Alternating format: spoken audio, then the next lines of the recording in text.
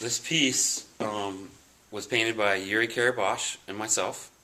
It was commissioned by a gentleman by the name of Johnny G that he goes by here in Williamsport. And it's of U2. Um, I started by painting Bono here, and then my partner Yuri came in and, and uh, continued with the other pieces. This is the first painting that I've ever done in my career of the thousands of portraits that I've done that's larger than life size and I really love doing it, and I love the result. Um, this band is an incredible band. Not only is their music very powerful, but what they're about um, and what they do with philanthropy around the world is incredible. And Johnny G, who commissioned it, bought an orphanage through U2 for his son, which his son is in charge of 20 kids through this orphanage that he helps that wouldn't be alive today probably if it wasn't for, for that philanthropy through U2. Um, so this piece was a present to his son um, for his bedroom. So this is going to leave here and go into his son's bedroom.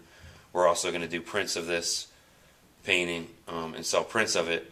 Um, and some of that money will go towards the orphanage, and some of it will go towards the work we're doing here with public art. Um, Johnny G himself is uh, is portrayed on the mural, and his son is portrayed on the mural outside. Um, who 3,000 kids came to his son's funeral. Not the son that this painting was painted for, but Johnny G was a heroin addict in New York when he was working on the buildings like the Twin Towers. Um, he became addicted to heroin because of heights, actually. A lot of people were taking heroin for heights. He was thrown out of a third story window. Um, he od- they thought he OD'd, the people in this kind of like crack house situation. And he was lucky. By the grace of God, he landed in a dumpster.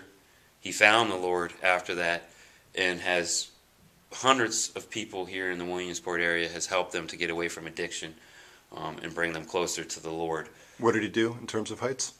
Um, he was uh, he did the glass work for the Twin Towers. He did the glass on the buildings of the Twin Towers, um, and somehow here in Bono's thing, I wanted to reflect that, and I probably will um, through the glass here of that because it's it's a story that's it happens all the time. You know, I mean, we're, we're, we're lucky when somebody that is pushed into the dark side finds their way out and helps those who are also trapped in that dark side come out. And that's really what Johnny G has done. And I think that because of that, I spent an extra amount of time on this painting um, because of who he is, because of what U2 is all about. It really is a synergy between that kind of love, you know, and you can see the seriousness in their faces.